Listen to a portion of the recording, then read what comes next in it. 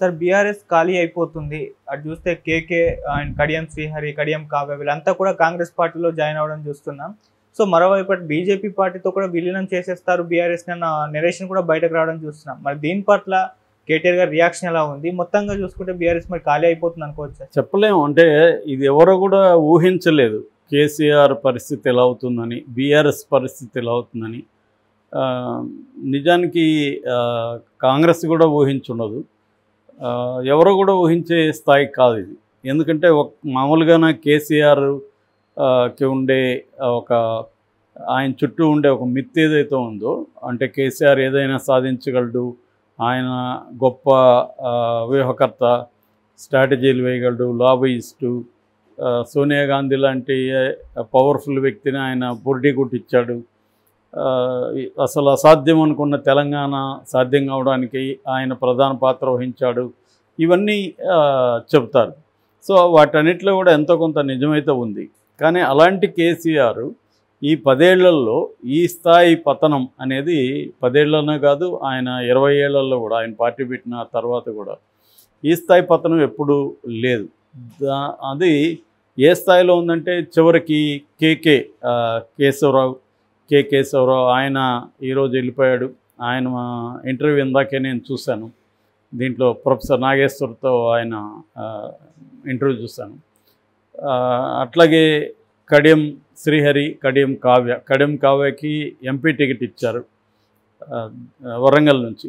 ఇచ్చిన తర్వాత కూడా ఆమె లెటర్ రాసి నేను వెళ్ళిపోతున్నాను అని చెప్పి వాళ్ళిద్దరూ వెళ్ళి కాంగ్రెస్ని కలిశారు. అట్లాగే కేకే కూతురు కూడా ఇక్కడ మేయర్ ఆమె కూడా వెళ్ళిపోయింది విజయలక్ష్మి. ఇంకా చాలామంది వెళ్ళిపోయారు ఆల్రెడీ. ఇవన్నీ ఇప్పుడు చెప్పిందంతా నిన్న ఈరోజు డెవలప్మెంట్స్ చెప్తున్నాను. అంటే ఓవరాల్గా తీసుకున్నప్పుడు అసలు పార్టీ టికెట్ ఇచ్చిన వాళ్ళు కూడా ఇచ్చిన తర్వాత కూడా వాళ్ళు వెళ్ళిపోవడం వాళ్ళని ఎలా అర్థం చేసుకోవాలనేది అర్థం కావట్లేదు. నిన్న కేకే వెళ్ళి కలిసినప్పుడు కూడా కేసీఆర్ తిట్టాడని కోపం కోపం చేసుకున్నాడని దాంతో మధ్యలోనే కేకే లేసి వచ్చేస్తాడని చెప్తున్నారు. మరోవైపు ఈరోజు ఎక్స్లో కేటీఆర్ ట్వీట్ చూస్తే కూడా అది ఆ ట్వీట్లో ఏం రాశాడంటే శూన్యం నుంచి సునామీని సృష్టించిన వ్యక్తి కేసీఆర్. సో ఆయన ఇలాంటి నాయకులను ఎంతోమందిని సృష్టించగలరు. మాకేమి ఇబ్బంది లేదు. వెళ్ళిపోయే వాళ్ళు పనికి వాళ్ళంతా వెళ్ళిపోండి.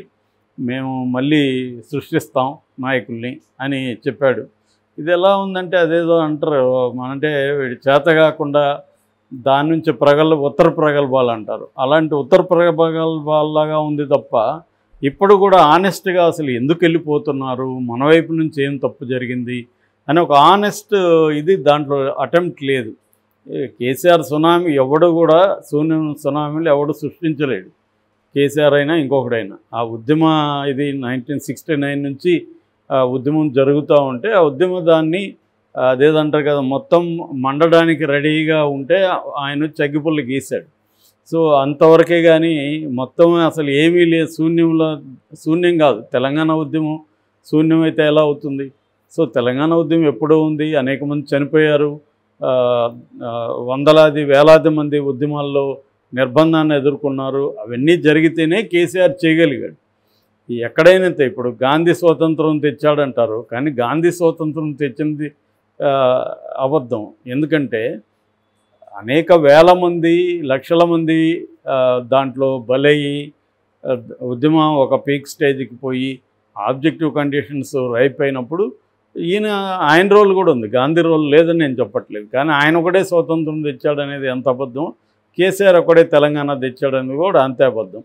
సో ఇది కూడా ఇప్పటికి కూడా వాళ్ళ అర్థం కావట్లేదు అనేది మనకు తెలుస్తూ ఉంది. రెండవది నాయకత్వం తయారీ. నాయకత్వం తయారీ అనేది ఒక రోజులో అయిపోయేది కాదు. కేసీఆర్ ఇలా చిటికేస్తే నాయకులందరూ తయారైపోయేటైతే మరి ఉన్న నాయకులు ఎందుకు వెళ్ళిపోయారు? ఉన్న నాయకులను ఆపలేని కేసీఆర్ కొత్త నాయకులను ఎలా తయారు చేస్తాడు? ఎప్పుడు తయారు చేస్తాడు? సో ఇప్పుడు కేకే కూడా ఏం చెప్తున్నాడు? ఎందుకు మీరు వచ్చేసారంటే వాళ్ళ ఫ్యామిలీని ఈ పదేళ్ళలో వాళ్ళ ఫ్యామిలీ తప్ప ఆ నలుగురు తప్ప కేసీఆర్ కేటీఆర్ హరీష్ రావు కవిత తప్ప ఇంకెవరైనా ఫోకస్ అయ్యారా? ఇంకెవరైనా టీవీలోకి వచ్చి మాట్లాడుతున్నారా? ఇంకెవరైనా నాయకత్వ స్థానాలకు వచ్చారా? అనేది ఆయన కూడా మాట్లాడుతున్నారు. అంటే వీళ్ళ ఫ్యామిలీని మాత్రమే పెంచి చేస్తున్నారు. దానికి నాగేశ్వరరావు గారు ఒక ప్రశ్న అడిగారు. ఇదే విమర్శ మీరు ఇప్పుడు కాంగ్రెస్లో చేరుతున్నారు కదా మరి? రాహుల్ గాంధీ మీద కూడా ఉంది కదా అంటే కనీసం రాహుల్ గాంధీ దీంట్లో మార్పు వచ్చింది. ఒక ఖర్గే లాంటి వాళ్ళని వాళ్ళు నేషనల్ ప్రెసిడెంట్ చేసుకోగలిగారు. రెండోది రాహుల్ గాంధీకి మాలాంటి వాళ్ళు ఓపెన్గా ఏమన్నా చెప్పే పరిస్థితి ఉంది. ఇక్కడ అది లేదు. కేసీఆర్తో ఎవడ కూడా చెప్పే పరిస్థితి లేదు. ఆయన వినే పరిస్థితి లేదు. సో అది ప్రధానంగా. అంటే ఇప్పుడు ప్రజలు కేసీఆర్ని ఓడించడానికి ఒక కారణం ఉంటే నాయకులు లీడర్సు బీఆర్ఎస్ నుంచి ఎందుకు బయట వచ్చేస్తున్నారు అనే దానికి కేకే చెప్పిన ఎగ్జాంపుల్ చాలా ఇంపార్టెంట్. అంటే ఆయన ఇంకోటి కూడా చెప్పాడు. అంటే నాయ లీడర్స్ అంటే ఒక పార్టీలో ఉండే కార్యకర్తలు నాయకుడి అహంకారాన్ని భరిస్తారు నియంతృత్వాన్ని భరిస్తారు ఇంకొకటి ఇంకొకటి భరిస్తారు కానీ తమ ఆత్మగౌరవంని దెబ్బతీయడాన్ని భరించలేరు అని అద్వాని చెప్పాడని ఈయన కోట్ చేశాడు. సో అంటే అక్కడ క్లియర్గా ఏమవుతుందంటే కేసీఆర్ ఏమాత్రం విలువ ఇవ్వట్లేదు. దానివల్ల అసంతృప్తితో ఉన్నారు. ఇప్పుడు ఛాన్స్ వచ్చింది కాబట్టి బయటకు వచ్చారు. అనేది ఆయన పదేళ్ళు సుదీర్ఘకాలం పనిచేశాడు కేకే. రెండోది కేసీఆర్కి దగ్గరగా ఉన్నాడు. రెండోది ఆయన ఏమంటున్నాడంటే నాకు అత్యంత గౌరవం ఇచ్చాడు. నాకు గౌరవం లేదని నేను చెప్పలేదు. నాకు చాలా ఇంపార్టెన్స్ ఇచ్చాడు గౌరవం ఇచ్చాడు పదవులు ఇచ్చాడు. అది నేను కాదనట్లేదు అనేది కూడా ఆయన చెప్తున్నాడు. సో ఒకటేంటంటే కేసీఆర్ స్వయం కృతాపరాధం అని కూడా అనొచ్చు. ఎందుకంటే ఇదే ఇప్పుడు వీళ్ళు కేసీఆర్ అయితే ఏదైతే ఇప్పుడు కేసీఆర్ కావచ్చు కేటీఆర్ విమర్శిస్తున్నారో ఇదే పని కేసీఆర్ కూడా చేశాడుగా. తనతో పాటు ఉద్యమంలో ఉండి ఈయన చెప్పే సునామీ సృష్టించితే ఆ సునామీ సృష్టించడానికి కేసీఆర్తో పాటు అనేక మంది పనిచేశారు కదా. వాళ్ళందరినీ పక్కన పెట్టి ఎవడెవడనో ఉద్యమ వ్యతిరేకులంతా కూడా తీసుకొచ్చి వాళ్ళకి మినిస్టర్లు పెద్ద పదవులు ఇచ్చి చేయలేదా కేసీఆర్? అట్లాగే వేరే కా ఇటు తెలుగుదేశం కాంగ్రెస్ చివరికి సిపిఐ నుంచి కూడా లాగేయలేదా? అవసరం లేకుండా కూడా. ఎనభై ఎనిమిది మెజార్టీ ఉంటే నిజానికి అరవై మ్యాజిక్ ఫిగర్ అయితే ఎనభై ఎనిమిది ఆయనకుంది. అయినా కూడా తను అందరినీ లాగేయలేదా? మరి అప్పుడు అవన్నీ న్యాయమైనప్పుడు ఇది ఎందుకు న్యాయం కాదు? సో ఇక్కడ ఏంటంటే ఒక మన మన బలమాన్ని ఎక్కువ ఊహించుకొని మనకు తిరుగులేదు మనం ఏం చేసినా చెల్లుతుంది ప్రజలు గొర్రెలు మనం ఏం చెప్తే అది వింటారు తలోపుతారు అనుకునే ఒక అహంకారం నెత్తికెక్కిపోవడం వల్ల జరిగే ఇదే ఇదంతా కూడా. అంటే ఒక నే మామూలుగా ఒక సామెత ఉంటుంది కుమ్మరి చక్రం మీద ఒక ఈగ కూర్చొని ఈ చక్రాన్ని నేనే తిప్పుతున్నాను అని అనుకుంటుందట. నిజానికి ఆ చక్రం తిరిగితే ఈగ తిరుగుతుంది. రివర్స్లో ఈగ నేనే చక్రం తిప్పుతాను అనుకుంటుంది. చాలామంది నాయకులతో కూడా ఇదే ప్రాబ్లం ఉంది. నా వల్లనే అన్నీ జరుగుతున్నాయి అనేది అనుకుంటారు.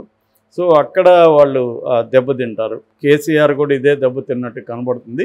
సో ఈ క్రమంలో రెండో ప్రశ్న బీఆర్ఎస్ బీజేపీలకు విలీనం అవుతుందా అంటే అయ్యే ఛాన్సులు కూడా ఉందనే కనీసం విలీనం కాకపోయినా ఎన్డీఏలో చేరిపోయి అవకాశం కనిపిస్తుంది. కానీ మోడీ దానికి కూడా సిద్ధంగా లేడు. విలీనం ఏమైనా అయితే చేసుకుంటారేమో కానీ ఎన్డీఏలో మాత్రం చేర్చుకునే ప్రసక్తి లేదనేది ఇప్పటివరకు ఉన్న సమాచారం.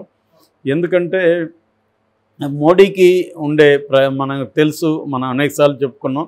మోడీ ఏంటంటే ప్రతి రాష్ట్రంలో కూడా ఒక్కొక్క రాష్ట్రంలో ఒక్కొక్క రకమైన వ్యూహాన్ని అతను అమలు చేస్తారు.